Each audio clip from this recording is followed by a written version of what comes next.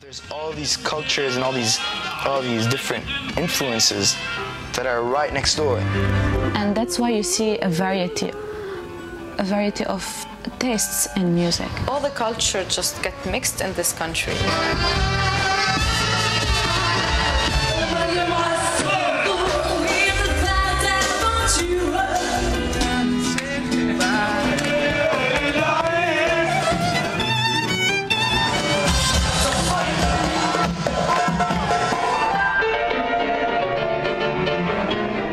Pass from this to a totally deserted city. We had war problems for a very long time. We're all tired of it. Heavy music does release a lot of tension take the example of any country that has uh, that uh, that had a sustainable art scene after uh, a major conflict. They have so much inside they want to let out, and hip hop is like one of the best ways to let out. Instead of the gun, do the music.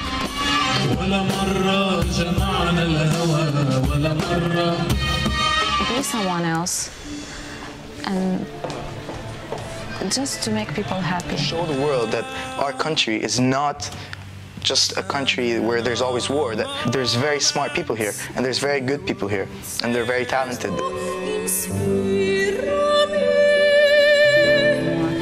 I want you to have hope.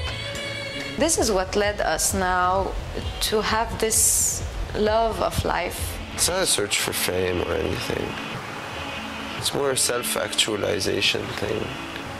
In arts, you can sometimes bring awareness.